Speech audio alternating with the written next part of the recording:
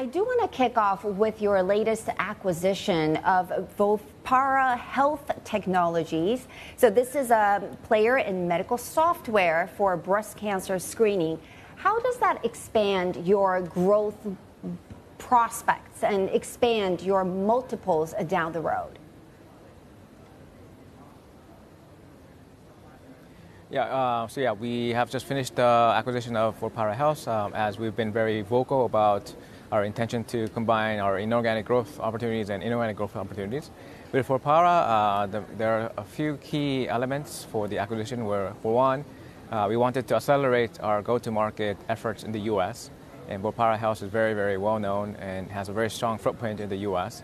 So that will help us in terms of uh, uh, upselling each other's products, and we have very complementary products that are related to uh, breast cancer screening, uh, including AI. And also, we have also uh, been very vocal about our intention to uh, grow beyond just being an AI application developer, but also an AI platform developer, and having mm. that connection to the install base and the customers, and um, getting that data from the customers and being able to leverage that to build foundation models and to improve our AI algorithms was another key aspects of the acquisition.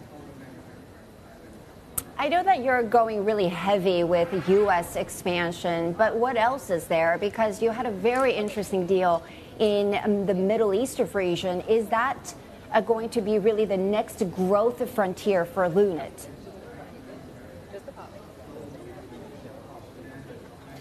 Uh, so we've been uh, global in our efforts, uh, not just uh, in the U.S. Mm-hmm. but also in uh, Korea, okay. Japan, Middle East, Europe, etc.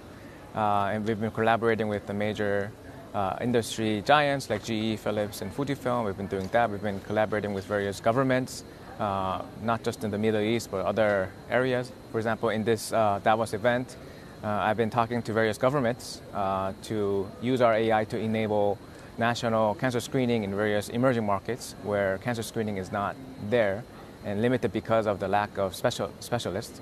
So our AI can help um, increase the performance level of the generalist to perform at the level of the specialist. So we've been working with various governments and foundations uh, to enable uh, national cancer screening in these emerging markets where cancer screening is not existent.